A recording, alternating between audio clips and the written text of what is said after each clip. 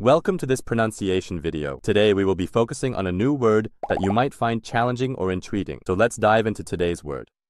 검색을, which means Search in Korean. let's say it all together. 검색을 검색을 검색을 One more time.